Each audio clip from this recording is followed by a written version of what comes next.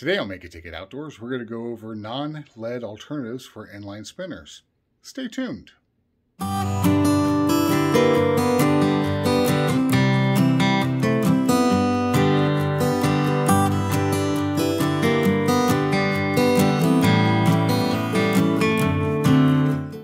Okay, so you want to get these beads um, that I'm going to be talking about. Use your eBay app. Um, go to Michael's Hobby Lobby. these they usually cost about three to five dollars for a strand. Um, we're talking a 15, 16 inch strand of eight millimeter beads. That's a lot of beads. That's a lot of lures. Um, had great success so far with them for uh, smallmouth and everything. Had some success with large, or uh, not largemouth. Eh, I've caught a few largemouth, but uh, trouts also. Um, it is 54 degrees out there today. It is September 23rd. I just got back from the desert, and this is a lot colder than that. Surprise, surprise. Um, but pretty soon the uh, trout releases will start happening in some of the rivers around here. So I'm going to do some trout fishing this winter because I hate not being able to fish year round, um, even though I'm more of a smallmouth and largemouth guy. Um, so let's get right into the beads, and that way you can see what I've been using. First up is the uh, material I used for my first inline spinners. And this is hematite. This is the natural looking hematite. Um, doesn't matter if it's man-made or not. Man-made's usually a little bit cheaper. These are uh, 8 millimeter beads, and this is the way you get them on the internet. You get them in strands. Um, always try to find strands. Individual beads, never worth it, really. But hematite is nice because it's a form of iron oxide. It's not rust, but it does have some heft to it. Um, and that's one of the reasons I like that. But this is the natural color. It's a dark gray and uh, does a great job. Now you can also get hematite in a few other colors. Um, you can get like a peacock color and everything. Or you can get silver. Let's get that in focus there. Sorry. There we go. Silver.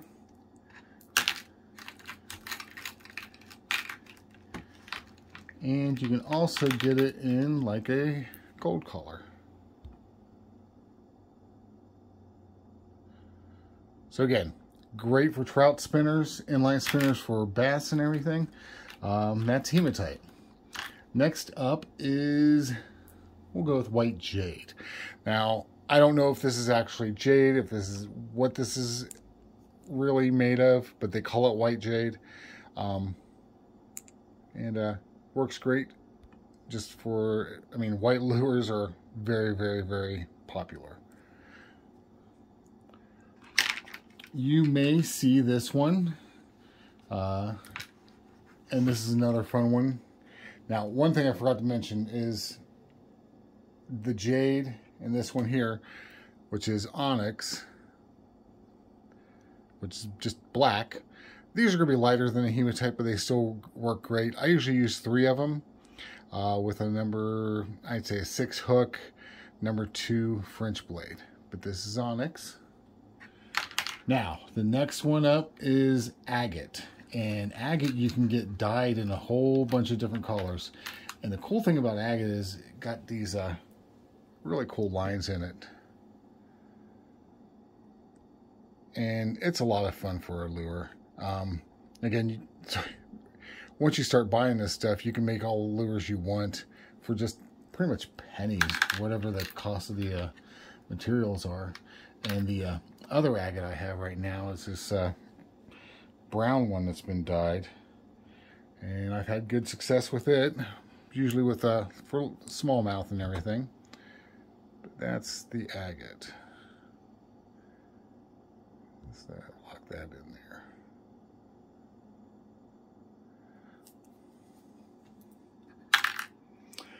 Okay, now this one I have really, really, really used a ton.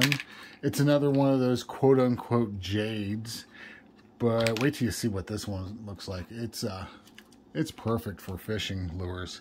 It's kind of a yellow or green uh, chartreuse. Look at that. That is awesome.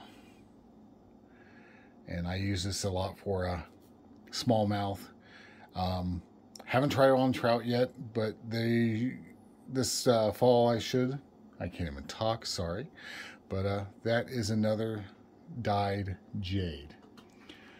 All right, so now we're going to get into another really cool one.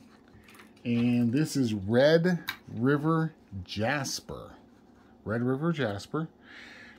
Now these are kind of plain beads. They're just uh, red, but you can also get Red River, and you can see the, uh, right there, some of the variation. You can get Red River Jasper, and it's red with white and black in it, and that's, I've used those beads up. Um, but yeah, your Jaspers are really, really, really versatile. Uh, Red River Jasper.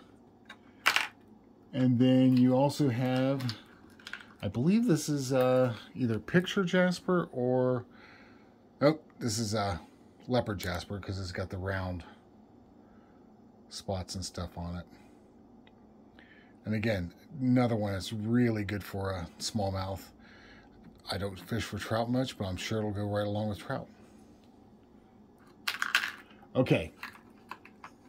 By and large, this is my absolute favorite for uh, smallmouth.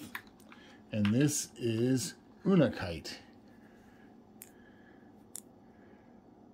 And you can kind of see why I like it. It's mottled green. Um, I usually tie on an olive and what they call root beer fur on the uh, treble hook and dress it that way and then run a couple of uh, French blades or a single French blade. But Unakite, it's just, it's almost perfect. It's kind of crawfishy. Um, here's, I'll show you another. And it has a lot of variation too. You can see this one has a lot more of the peach color in it. Let's turn it over so you can see it a little bit better. There you go. But that one, I've caught some of my uh, best smallmouth on. So that's some of the uh, ones I use for my lures. My stock's pretty low right now. I need to get to uh, Michael's or Hobby Lobby and pick up some more. But pretty much the, uh, the, the possibilities are endless.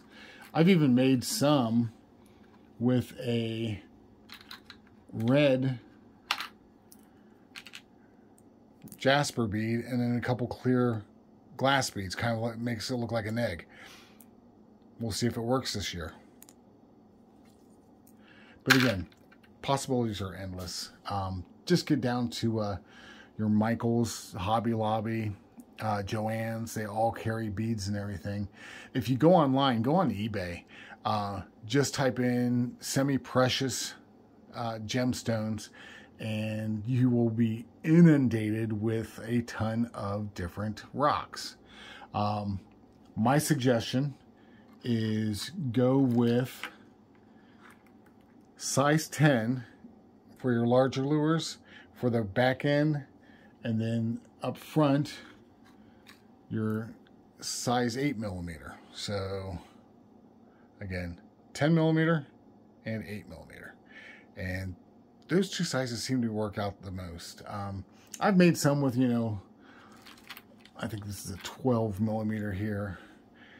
But I don't like having a huge bead on the back end because that's where the hook is.